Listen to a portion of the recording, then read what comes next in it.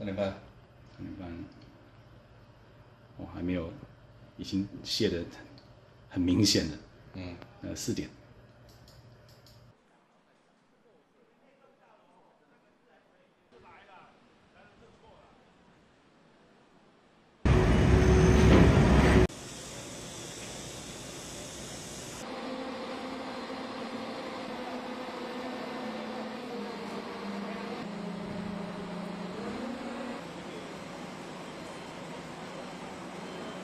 目前已经掌握，确定就是在深度比较深的卫公管，也就是污水管这边有破损，所以晚上九点的时候还是平的，嗯，还没有什么状况，因为准备要恢复通车了。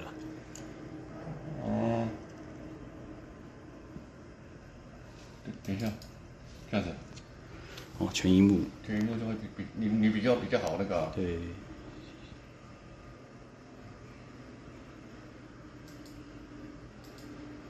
刚刚的地方大概一点半的时候，对，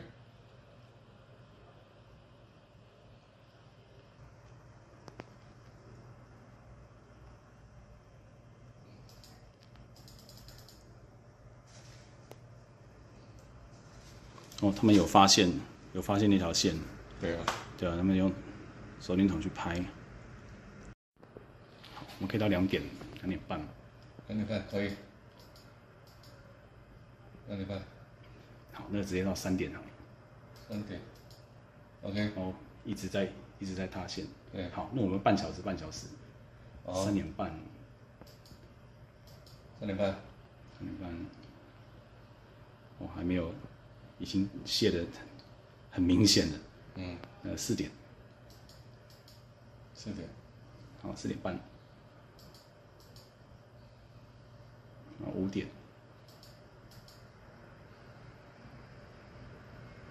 五点，好，五点半，天亮了，天亮了，那六点了，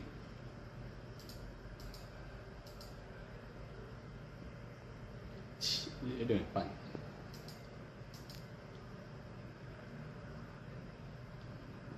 七点的时候，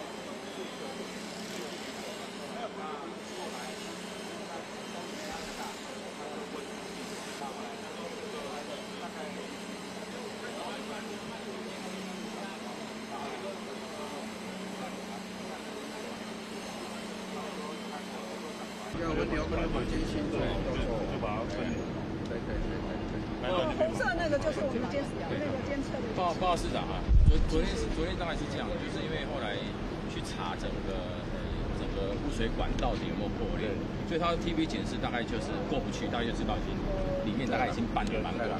那满管因为他们要整个要抽离啊，抽一抽离之后，整个把沙袋大概又下线了大概四十。上下线之后，整个各公司大概紧张，所以就把当原来的那个那个人口嘛，污水人口部分，他用沙包跟各方木去把它回平，就是要把它回平，把它沙包结果因为这个整个河河川啊，河川它会有潮汐，它一涨潮之后，它一退潮之后拉走，它把所有的那个我们讲沙包、六几包全部带走，所以后来就是整个在往下那现在把这个所谓的人孔，把它整个肺管把它整个灌掉之后呢，第一个沙再怎么样，它就不会被带走啊，基本上就会把它这边止住啊。那监测的部分，其实我们现在不只是说，我们我们总共装了六个人工监测，四个自动监测，我们有四栋房子哈，都是用自动监测，这个自动监测可以随时监控这个房子有没有起火状况。其实这个部分也有跟那个已经议员做一个一个报告哈。那建筑物的安全部分呢，其实我我工会也派了两位技师哈，连同有三位。如果有居民有任何的疑问的部分，我想我们能够做一个说明跟会把现场的部分会掌控好。目前是正常。对，好的。那交通我们也这这段时间就先分开。刚才已经跟警管警管有跟警管上班的时候一定要能够改造的啦，这一段就从西宁到黄河这一段。对对。是礼拜三烟火节。礼拜三烟火我们在苹果改造部分。那要不要过去那边媒体那个对，要从这边。所以现在就走。台湾台湾就在总体下一格做一个回回了，是走在所以这一段这段魏公馆就把它监测这个变为了。已经在其实是按头，可以可以可以。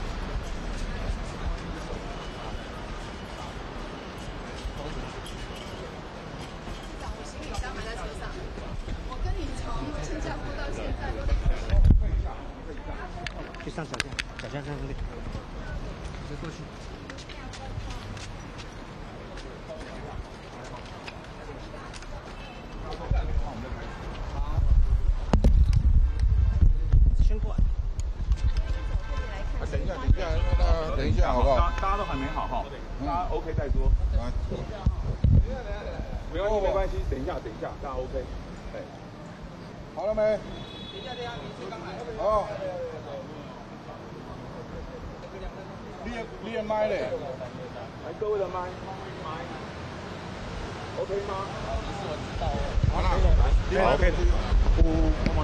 哦，谢谢。市长